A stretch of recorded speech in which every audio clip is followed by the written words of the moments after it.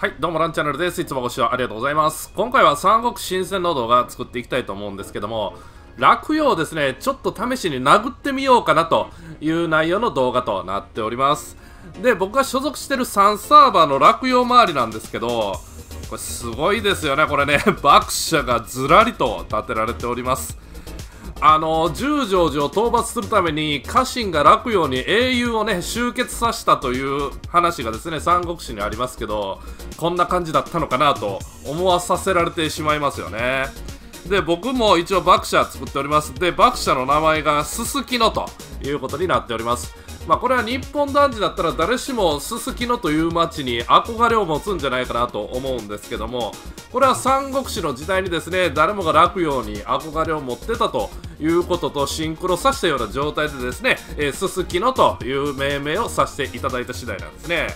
でここにですね一応僕の主力部隊2人をですね送り込んでおります。でですね、えこの落葉を試しに殴ってみるわけなんですけどもこれね、えー、中上部隊9万 ×48 と書かれてますよね。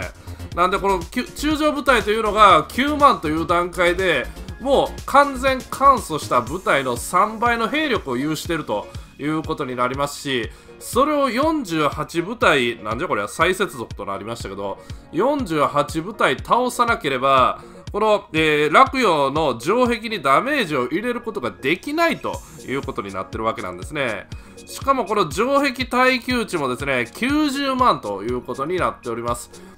で、これがですね、僕の兵器部隊の一つとなってるんですけども、工場値が354ということになってるので、5分に1回354のダメージしか与えられないっていうことやと思うんですよね。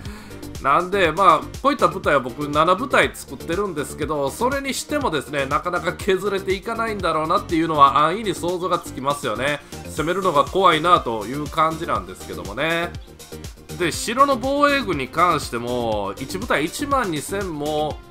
兵力があるということになってるんで兵器部隊もですね何回も殴ってたら勝てなくなってくるんじゃないかなと思うんですよね。こっちは消費するけども向こうは必ず1万2000の状態で戦ってくるわけなんでね。なんで、えーと、兵器部隊っていうのもですね鍛えていかないかんということなんですけども今回はですね主力しかぶつけられないですね。僕1人でこの、えー、中将部隊を壊滅させることは当然できませんのでここを壊滅させないと、えー、上防軍とも戦わないということになると思うんでね。なんで、えー、中将部隊と戦ったらどんな感じになるのかという模様ですね、お伝えしたいかなと思っております。でですね、一応僕の舞台なんですけども、えー、こっちの方が強いかな。諸葛亮をメインとした舞台になってますけども、えー、一応ですね、レベルは周囲が48になってますけど、残りの2人は50まで上げることができました。で S 品質の戦法もですね四面楚歌混迷乱城あと、えー、活骨両毒ということでですね結構揃えてるような気はするんですけどもちょっと劉備の戦法だけ不満かなというところですね。で2つ目に苦惨を装備させてるんですけどもこれをですね一応そのもうちょっと硬い戦法ですねみんなが硬くなるような戦法を入れたいかなと思ってるんでまあ、そうですね。弓部隊なんで肝陣営とかは、まあ、入れないと思うのではい。総陣が継承できる八門僅差の陣ですね。これなんかを覚えさせたいなって思ってるんですけども総陣をピンポイントで引くっていうのはなかなか難しいかなと思ってるので育成に関してはもうちょっと頭打ちなのかなという気がしてますけどね。ちなみにレベル10の資源値っていうのはこの部隊で、えー、壊滅させることはできないですね。1部隊でなんとか壊滅させるというのを目標にやってきてるんですけどなかなかやっぱ厳しいなというところですね。でもう一つの出力部隊がですねこちら曹操の部隊になってるんですけどこちらに関してももう育成頭打ちかなという感じですね、えー、加工トンがレベル50になっててあと曹操49祝友48ということになってるんですけどももうですね、変えたい戦法っていうのは書こうとのところぐらいしかないんですよね。で、えっ、ー、と、加工トのところにですね、はい、こちら、往路が、えー継承できる戦法ですね、えーこちらはですね、敵軍全体に計略ダメージを与えて挑発状態にするという戦法になってるんですけども、これはですね、今、挑発状態にする戦法っていうのはつけてるんですけど、この、えー計略ダメージっていうのは与えられないという状態になってますね、今はね。なんですけども、この、えーと発動確率っていうのがですね、今僕が装備してる挑発より10%下がるということになってるので、ここに関しては賛否両論あるんじゃないかなと思うんですよね。どっちがいいかっていうところですよね。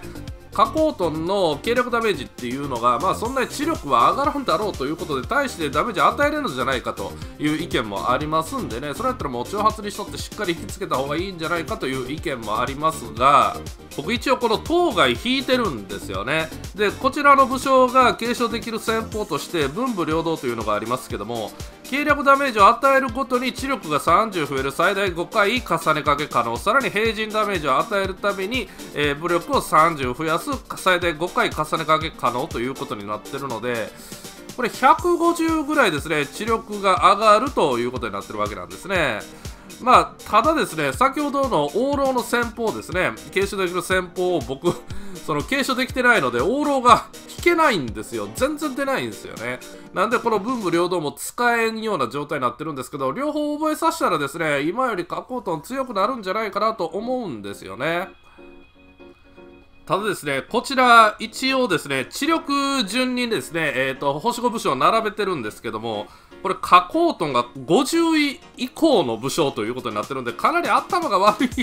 武将ではあるんですよね。なんで、しっかり、先ほどの、えっ、と、文武両道ですね、あれでしっかりと知力を上げてなかったら、計略ダメージっていうのはほとんど期待できないかなというところですよね。で、もう一人の副将の祝友に関しては、書こうとより頭悪いんですよね。なんで一応こちら曹操の、えー残機残飛なんたらっていう戦法をつけてですね、えー知力が一番低い武将ですねのえ違うわえっ、と武力が最も高い武将の、えー非計略ダメージを40%減らすというのをつけてます。で、この中やったらですね、これ、祝友の武力が239で、加工との武力が209ということになってるんで、この残費のですね、えー、と防御力アップっていうのがですね、祝友にかかるという仕組みにしてます。で、祝友に関しては、まあ、S 品質の戦法、この破人再建とかだったらですね、火力はかなり出せる戦法にはなってるんですけども、あと落砲ですね、落砲も同じように火力は出せるんですが、ちょっと連鎖率、えー発動率が低いので、まあ、しっかり発動してくれんことには、ちょっと強くはなってくれないのかなというパーティーということになってますね。このような主力2部隊でですね、突っ込ましてみたいかなと思います。そしたら始めていきましょう。はい。一応引き分けになりましたか。僕は敗退してしまうんじゃないかなと思ってたんですけど、引き分けてくれました。で、えっ、と、あ白防衛軍とはですね、その言うたら中将部隊と戦う前にも戦闘をさせられるみたいですね。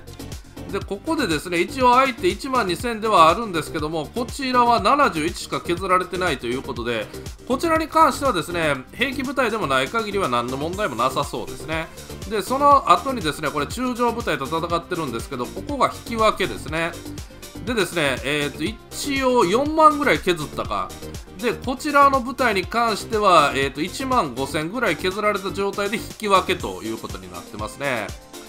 で、えー、とこれ相手部署すごいですね。李重、あと呂布、で、李覚という、なんか落葉にったりの武将がですね、えー3武将ということになってますけども、まあ、かなりやられてしまったなというところですよね。呂布にめちゃめちゃ削られてるなというところですよね。えー、何本ぐらい？うわ、すごいな、これ。1万5000ぐらい削られてますね。なんで、ほとんど呂布にやられてるなっていうところはあるんですけどね。そしたら、えー、と今、引き分け状態で1分あと半ぐらいかな、で再戦ということになってるので、まあ、再戦まで見てみましょうか。その後にソースをぶつけたいかなと思います。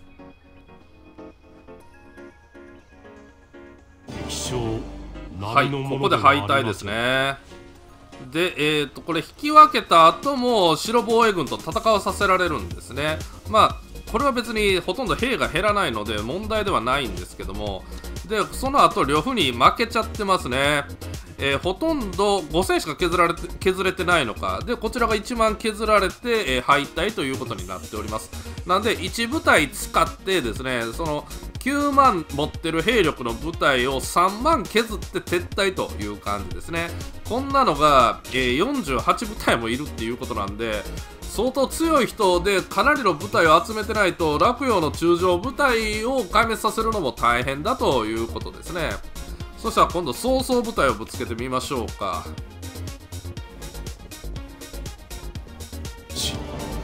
はいこちらの部隊に関しては引き分けにも持ち込めなかったですね。で相手は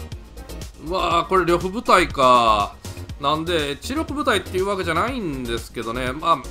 呂布部隊というか、理事部隊になるんかな、主力首相が理事なんでね。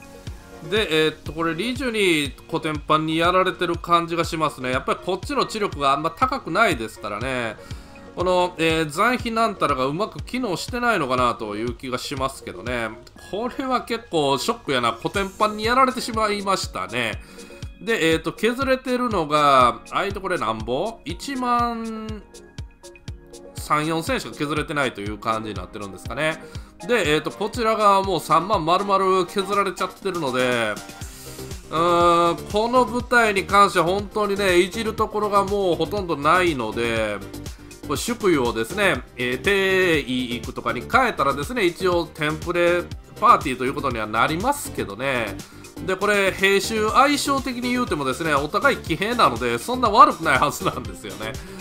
なんでこれでこんだけコテンパンにやられるということではですねちょっと戦力になってないのかなという気はしますけどね。まあその先方発動の回数っていうのもあるんですけどね。これ何ターン持ったの？えー、っと一応345あそうか。8ターンぐらいは持ってるのか。で、えーと、こちらの、えーと、波人債券とか1回落砲に関しても1回しか発動してないっていうことなんですね。なんでちょっと発動確率が低すぎたのかなという気はするんですけどななんせ祝湯がこの、えー、パーティーのメインアタッカーになってるんですけどあんま削れてないですからね。これではまあ勝てないなとは思うんですけどもまあ、発動せんかったらここまで、まあ、全然勝負にならないみたいなね、ことも起こりうるということでですね、もうちょっと鍛えたいなというところですけどね、また、ここ、てこ入れね、え、できる部分があるようやったらですね、またアドバイスいただけたらなとは思うんですけどね。はい、いかがだったでしょうか？今回は落葉に攻めてみました、えー、今回の動画が面白かったとかためになったと思っていただける方はグッドボタンとチャンネル登録あと Twitter のフォローの方よろしくお願いします。Twitter のリンクは概要欄です。以上です。ありがとうございました